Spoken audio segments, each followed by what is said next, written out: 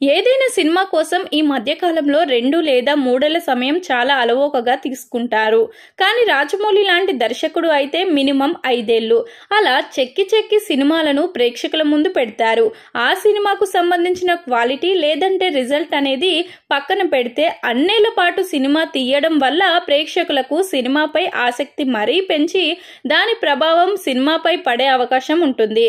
అందుకే కొన్ని మంచి సినిమాలు కూడా ఫ్లాప్ అవుతూ ఉంటాయి. ఈ మధ్య కాలంలో కొన్ని సినిమాలు అనౌన్స్ చేశారు. అవి ఎప్పుడు రిలీజ్ అవుతాయో కూడా ఎవ్వరికీ తెలియని పరిస్థితి. అవి మొదలు కావడానికి చాలా ఏళ్ళ టైం పట్టవచ్చు. మరి అలాంటి సినిమాలు ఏంటో ఇప్పుడు తెలుసుకుందాం. రావణం.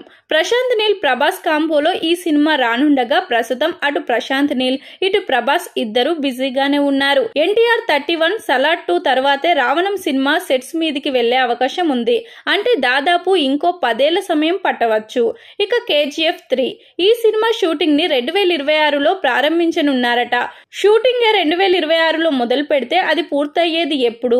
ఇంకా విడుదలయ్యేది ఎప్పుడు? మనం చూసేది ఎప్పుడు? అంత ప్రశాంత్ నీల్ చేతిలోనే ఉంది. ఇక బాహుబలి త్రీ. ఈ సినిమా చేయాలనే ఆసక్తి అందరికన్నా ఎక్కువగా రాజమౌళికే ఉంది. అయితే దీన్ని చేయాలంటే మాత్రం మహాభారతం తీసిన తర్వాతే తీస్తాడట. ప్రస్తుతం మహేష్ బాబుతో తీస్తున్న సినిమా పూర్తవడానికి మూడేళ్ళ టైం పడితే అది అయిపోయాక మహాభారతం ఎప్పుడు తీస్తారు? ఆ తర్వాత బాహుబలి త్రీ ఎప్పుడు తీస్తారో ఏమో మరి? ఇక మహాభారతం.